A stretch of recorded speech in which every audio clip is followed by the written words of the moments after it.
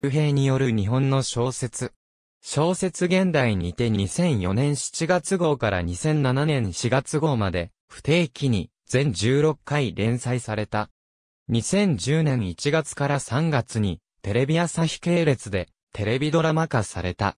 同年3月、ドラマの続編となる決戦ワンスアポンアタイムイン東京にが書き下ろし100冊の一作として刊行される。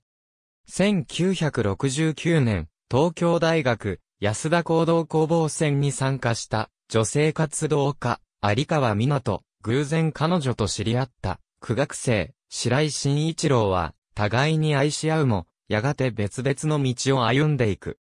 それから30年の時が流れ、大病院の経営者となった港、大倉官僚から与党の政調会長まで上り詰めた新一郎は、皆の息子、高志と新一郎の娘、久子の見合いの席で、運命の再会を果たす。宿命1969から2010、Once Upon a Time in 東京隊は、2010年1月15日から3月12日まで、ABC テレビ朝日の共同制作により、テレビ朝日系列で毎週金曜日21時21時54分に放送された連続テレビドラマ。主演は北村一輝。北村は本作が連続テレビドラマ初主演となる。